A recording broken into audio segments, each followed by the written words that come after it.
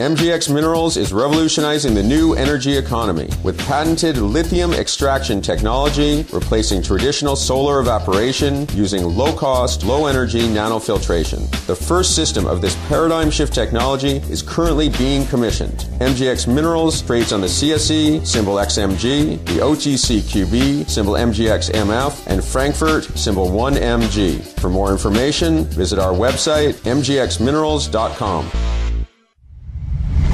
You're listening to HoweStreet.com radio, available online at TalkDigitalNetwork.com. Welcome to HoweStreet.com radio, the online source for market opinions. Here is Jim Goddard. My guest is Christopher Vermeulen from the TechnicalTraders.com. Welcome back to the show, Chris. Thanks for having me, Jim. Chris, is there big action in gold right now? Yeah, we're having we're having a, a really nice update in the gold market. Um, you know, we're seeing a, a decent one and three quarters percent pop. And, uh, you know, everyone is getting really excited about gold miners and, and gold in general. Those two have been moving up since really um, late October, and they are really kind of outperforming the rest of the market. It seems to be the safe haven play. And today is a big, big update in gold. We are getting up to some really critical resistance areas we saw back in 20. Um, 2016, 2017, and 2018. And each time we saw these strong moves in gold near these resistance levels, we saw very sharp corrections in the market. And I feel as though we're going to go into something very similar to what we saw the first three months, four months of this of 2018, where we have big rallies followed by big drops. And I think gold is going to ping pong between 13 and 1360. So I, I think we're going to see increased volatility. The last time you and I talked, I was expecting to see gold start to consolidate, start to become volatile, and I think that's what's going to happen. Is we're going to see prices. Um, this is kind of an exhaustion pop. It's usually we see a big move right at the end of a trend, a short-term trend, and then it reverses. And I mean, everyone is feeling like a million bucks today in the gold sector, but what goes straight up usually near resistance will come straight back down, and you don't feel that way tomorrow or a couple days from now. So when everyone's emotional, you usually expect a very strong swing in motion the other direction shortly after, and I think that's what gold miners are going to do. I, I am uh, more or less bearish on them. Looking forward a week from now, I have a feeling they will be trading you know, lower from where we are uh, today or tomorrow. Is this the kind of trade that you really have to keep an eye on? It is uh, based on a short-term technical, like a swing trading profile. Looking forward, you know, one to maybe ten days in total. Uh, we're, this is a pure kind of a momentum style play where price is having a big pop and a run into resistance where it's clearly been sold into very heavily in the past. A lot of people are watching this metal, and I do feel as though it's just a short-term trade. You do need to watch. I think today uh, Wednesday, Thursday, maybe we see this continue to move up a bit more. But then I think those will be the, one of those days should be the top, and we could see a quick um, eight, ten percent pullback in gold or um, or the gold miners more or less uh, going forward, and, and it'll be nothing more than a bullish correction. It's a short-term trade uh, for active traders. You know, looking at this as a long-term point of view, I think we're going to see precious metals trade sideways in a big range here for a month or two, and then I think we're going to see a continuation run to the upside, and for gold to finally break out of this 1375 area, which could be significant and uh, you know really change the tide and the trend for the, the precious metals market. Is that because you expect the equities market to take a, a fall? It's it's it's kind of a balancing act. I do feel as though equities here are getting a little long in the teeth. You look at the major broad market, the indexes, they're all trading near those December standout highs on the chart, on the daily chart. We're getting close to those. The Russell 2000 has just broke above it. I feel as though equities are going to have, they're going to push up and just pierce those highs, tag them, or break them a little bit and I do feel as though we're going to see some big selling step in, and we're going to see some weakness in the precious met, or sorry, in the overall stock market. And I think that is going to be timed with the pullback here in the gold miners. So when the equities market starts to sell off, I think we're going to see it drop very quickly for two or three days. I think it's going to pull gold miners down for two or three days, give us that really nice overbought trade in the miners to the downside. And then money's going to be in shock and they're going to move to the hot pockets, the safe haven plays. And we're going to see gold miners continue to chop around and move a bit higher while the overall equities market is probably trading sideways or lower. So typically we see the, the markets move together. Gold miners will move, will fall with the stock market. And I think that'll only happen for the first couple of days. And then investors are going to be, as they're moving out of regular stocks, they're going to be moving into the gold miners. So that's going to create this sideways, um, high volatility range for gold miners going forward. We'll have more with Christopher Vermeulen right after the break.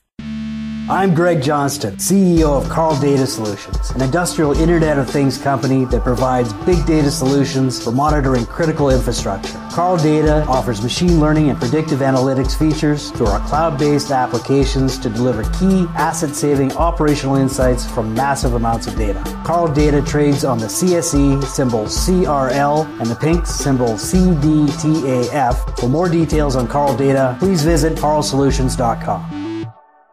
Aben Resources Limited is a gold exploration company with significant projects in British Columbia, Saskatchewan, and the Yukon. Trading on the TSX Venture Exchange, symbol ABN, and the pink symbol ABN AF. Surrounded by world class gold deposits and mines, Aben's 23,000 hectares Forest Kerr Gold Project is located in the heart of the Golden Triangle in northwestern BC. For more information, visit us at abenresources.com.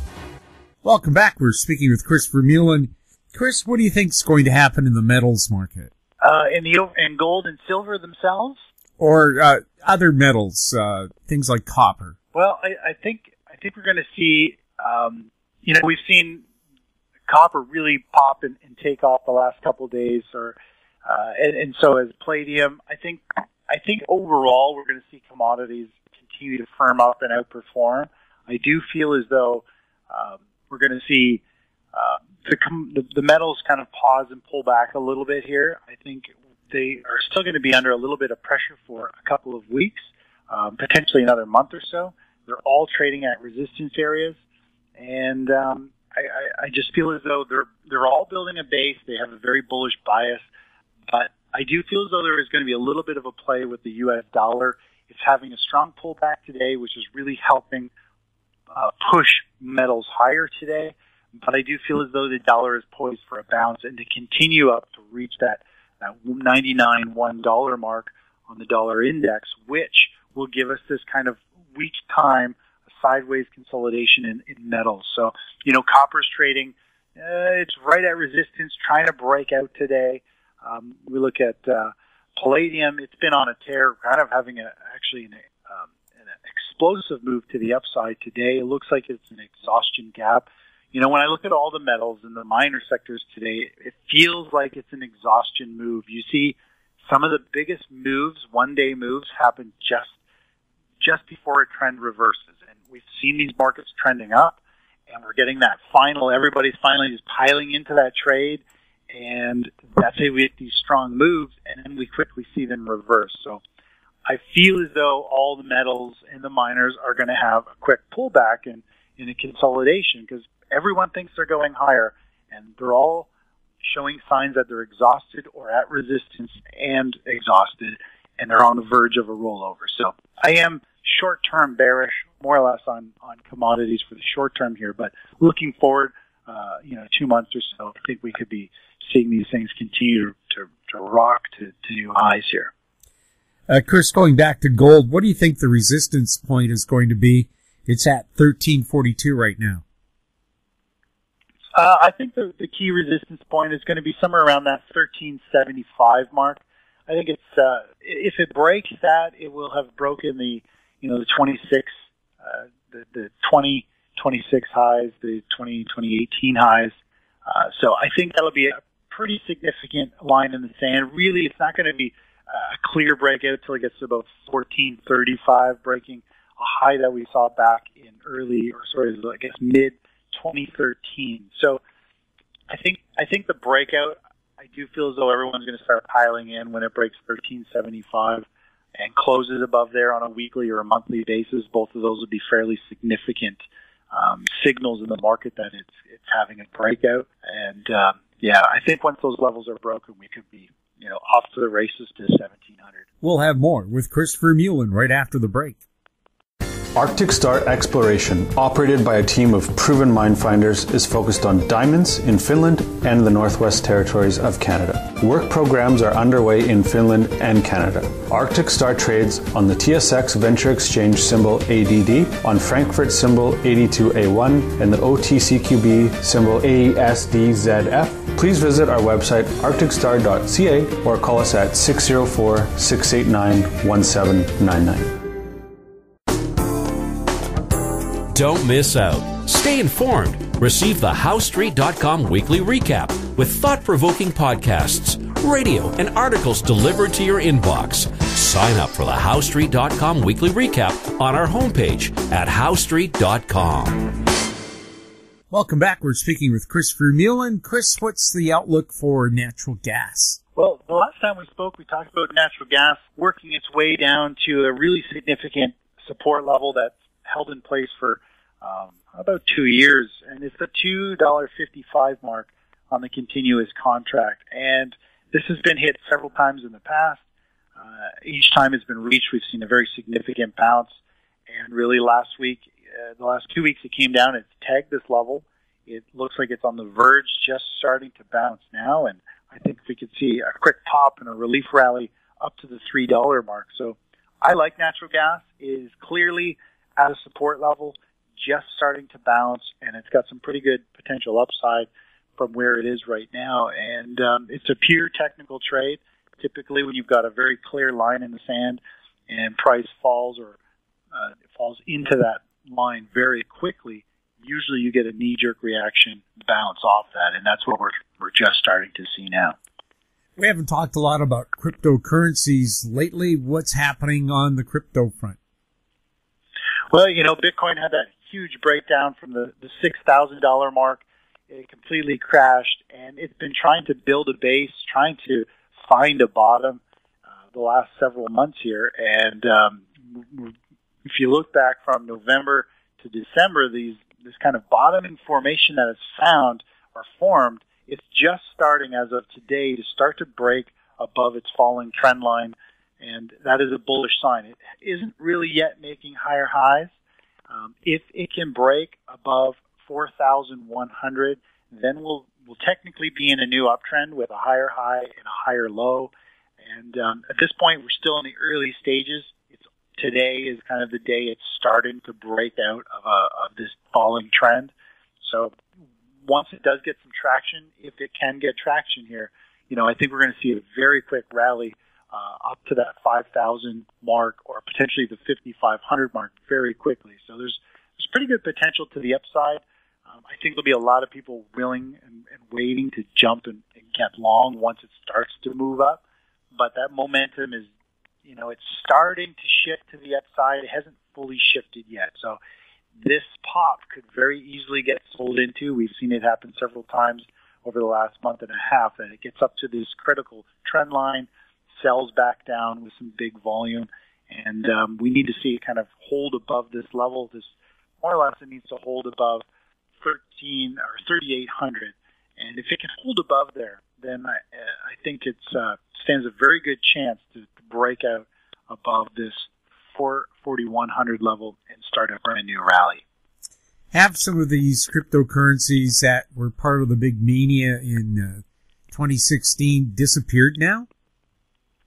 Yeah, I haven't followed. A, I know there are hundreds of them. It's it's amazing how many came out of the woodwork. Uh, but yeah, I think I think uh, hundreds of them have disappeared, off fallen off the chart. You know, the Bitcoin is very much so like the broad market. When the stock market's rising, you know, three out of four stocks are rising with it. Uh, it's kind of like the ocean tide. And Bitcoin is the same thing for digital currencies. Uh, we, when it falls, we find almost all the other digital currencies fall as well. So, uh, and a lot of them were limping along in the first place with, without a whole lot of support behind them.